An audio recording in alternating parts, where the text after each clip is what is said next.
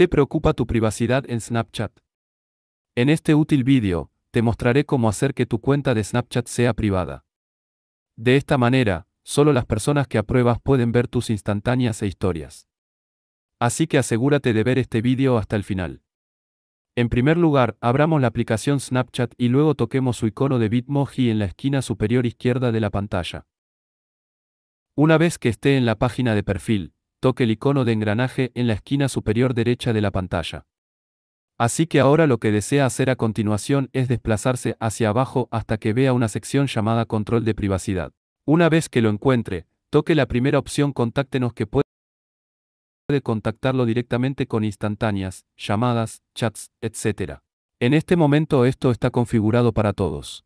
Entonces, para que la cuenta sea privada, cambie esto amigos. Y ahora solo tus amigos pueden contactarte.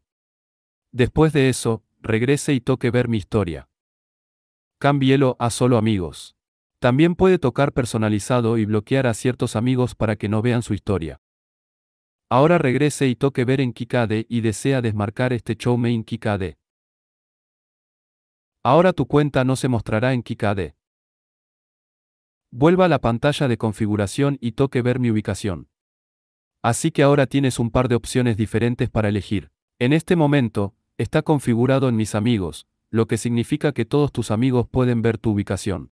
La segunda opción es que mis amigos acepten. Si seleccionas eso, puedes bloquear a algunos de tus amigos para que no vean tu ubicación. Y el tercero, solo estos amigos. Si seleccionas ese, puedes seleccionar amigos específicos y solo esos amigos seleccionados podrán ver tu ubicación. Y en la parte superior del modo fantasma, si activa esta opción, su ubicación se ocultará a todos. Entonces, para el propósito de este vídeo, voy a seleccionar modo fantasma. Seleccione la duración durante la que desea que se habilite el modo fantasma. Y ahora mi cuenta de Snapchat es completamente privada. Así que eso concluye este tutorial. Si tiene alguna pregunta sobre todo este proceso, hágamelo saber en la sección de comentarios a continuación.